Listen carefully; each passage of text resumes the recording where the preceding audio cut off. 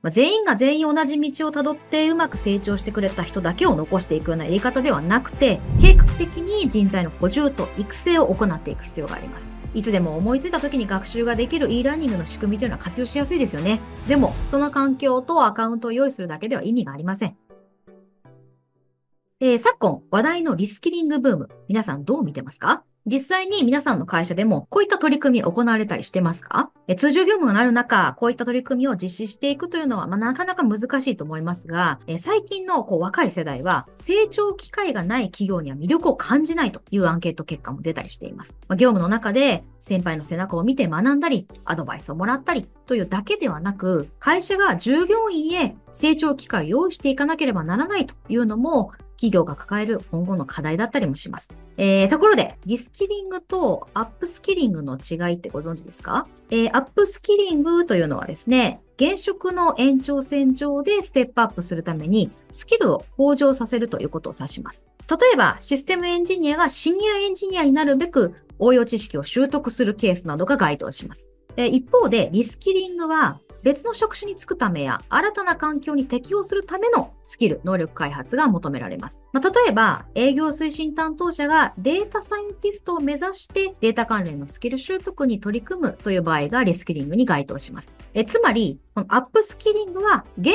在の職,、えー、職務で付加価値を高める取り組みであって、リスキリングは新たな環境下で価値創出を目指す取り組みというふうに言えます。ちなみに、リスキリングとアウトスキリングの違いもあって、えアウトスキリングは、え成長産業での就職に役立つスキルや、社会で需要の高いスキルの習得を短期で支援し、キャリア形成をサポートする企業主導の取り組みを指します。まあ、つまりアウトスキリングは、解雇の可能性のある社員が社外で就職するためにリスキリングする取り組みとも言えます。えこのように様々な、能力向上の方法や仕組みがあるわけですが、ビジネス変革の可能性、人材採用コストの抑制、企業文化の継承、この辺をしっかり企業を考えてから実施しないと結果が伴いません。そして、福利厚生などで e ラーニングなどの環境だけ用意しても、能力向上というのは測れません。えー、どういった人材が必要で、そのためにどういった訓練が必要で、それをしっかりと測る成果のエビデンスが必要で、それをもって新しい技術の習得が可能になります。各ポジションに必要な要素を先に考えるというのは、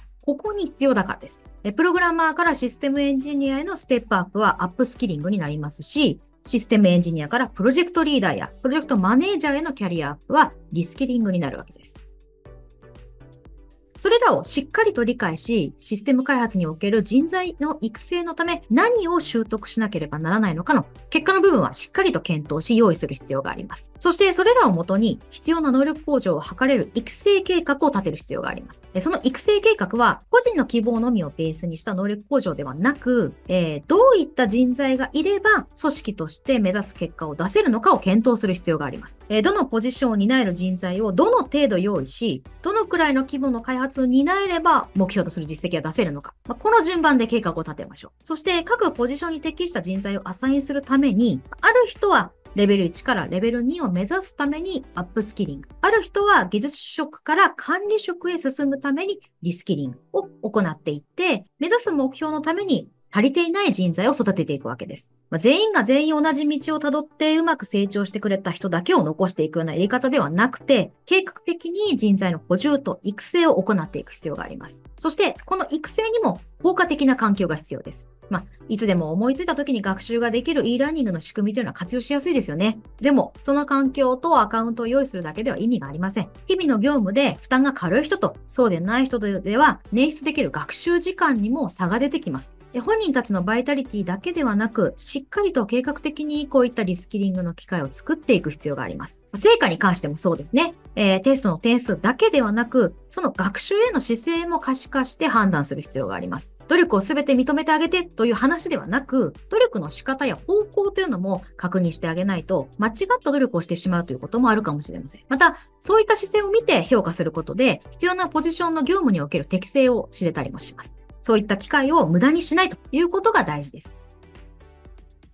というわけで、成果もエビデンスで評価してあげましょう。そもそも間違った努力してないかの確認も必要ですし、テストの点数や学習進捗以外をモニタリングできるものってなかなかないんですが、えそこをちゃんと可視化することが個人評価の重要なポジ、えポイントだったりします。こちらはリスキリングを行っている企業の従業員を対象にしたアンケート結果ですが、え自身の学習の成果が可視化されていなかったりすることで不安を感じたり、一人で学んでいることでの孤独感や、それを周囲がどう思っているのかにも不安や不満を感じたりしています。評価者だけではなく、学習者の不安も取り除くことで不満も解消し、目指すステップへ集中してスキル習得に取り組めるというわけです。えー、ワンオワンのような取り組みをしていらっしゃる企業様もいらっしゃると思います。まあ、面談は個人の不満や状況を確認するのでも良いんですが、今後の目指すべきキャリアを確認する機会にするのが望ましいです。えそういった記録も残した上で、目指すべき方向を上司と部下で共通認識としてイメージを共有するのも大事ですね。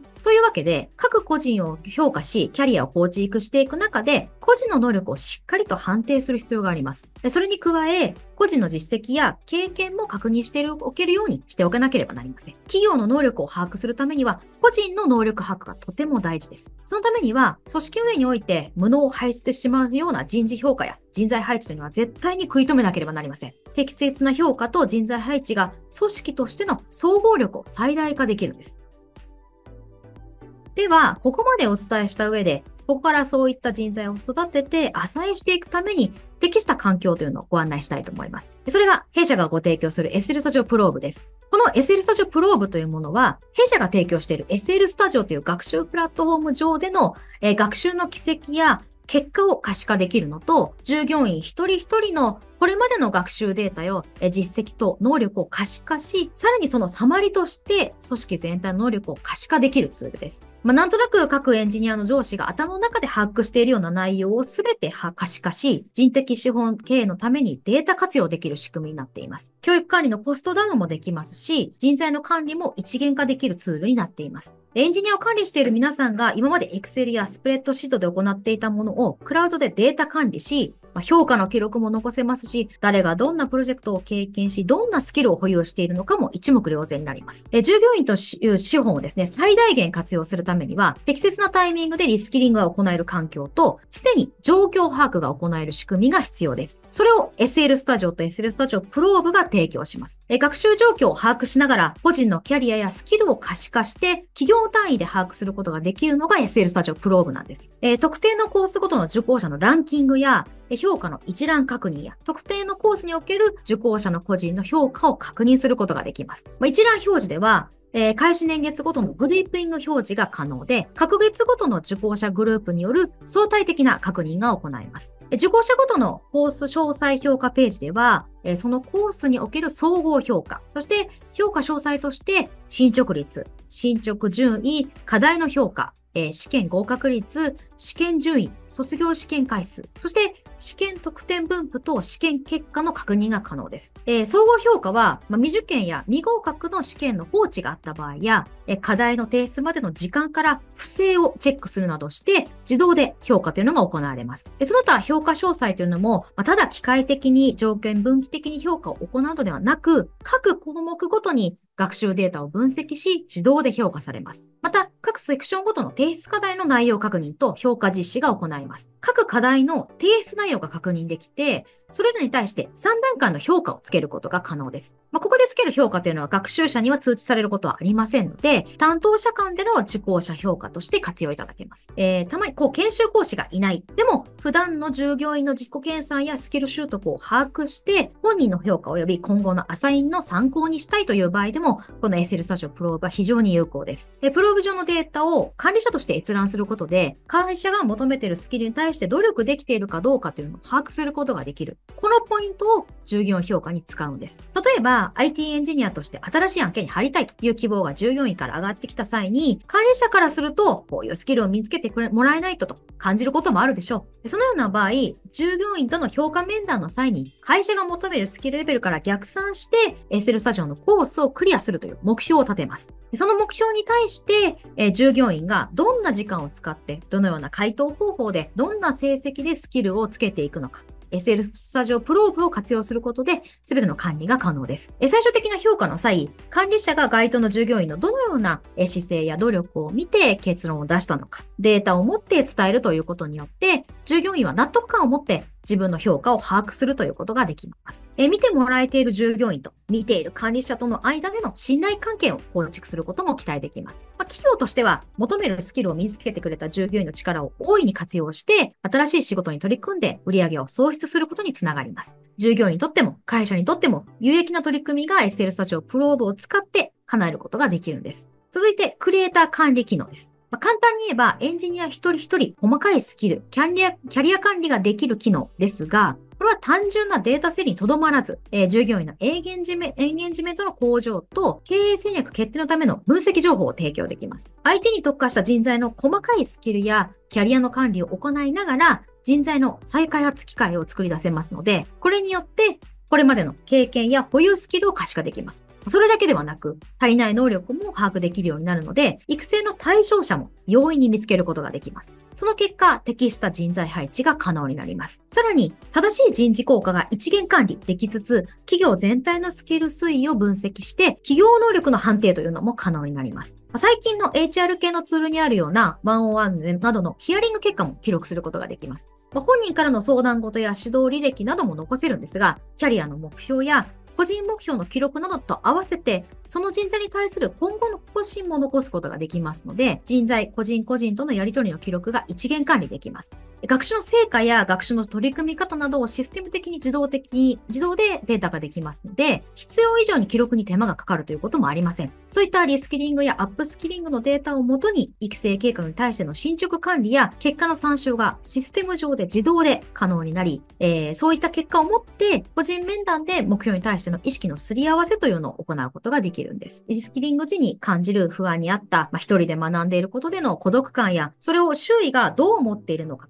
いう不安や不満も解消できる仕組みになっています。先ほどお伝えしたように、このシステムは個人管理だけではなく、これまで紹介した個人個人の能力や経験、個人とのやり取りをすべて記録した上で、そのサマリとして組織全体の能力を視覚的に表示できるようになっています。まあ、例えば、今、Web 開発における特定の言語を扱える人材はどれくらいいるのかとか、えー、〇〇の開発を行った人材はどれくらいいるのかなど、また、関わったプロジェクトで関わったシステムのコン、システムのコンテンツの種類や業界種別などもグラフでわかりやすく表示されます。新たな始まるプロジェクトにおいて、そういった知見を持った人材をアサインしようとしたときに、いち早くそういった人材を探し出して、スピーディーにクライアントへの提案を行うことも可能になります。えー、人材の成長、成長の評価、成長した従業員による企業の成長というのは繋がっていて、切り離すということはできません。それなのに、この世の中のツールはこの一連の流れを分断して、それぞれで管理しているものがほとんどです。SL スタジオプローブというのは、この流れを切ることなく一元管理することができる仕組みになっています。でこれからさらに人材と企業の成長というのを加速させていきたいという方は、もちろんのことを、この流れ自体を社内に組み込むにはどうしたらいいか、不安がある企業様にこそ、この SL スタジオプローブを導入して、その効果を享受してほしいと思います。学習のモニタリングツールとして、エンジニアのキャリア管理として、そして